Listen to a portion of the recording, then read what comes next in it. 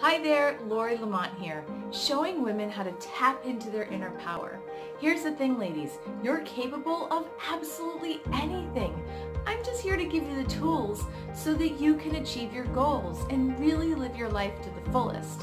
Whether that means increasing your income or decreasing your waistline or anything in between, it doesn't matter.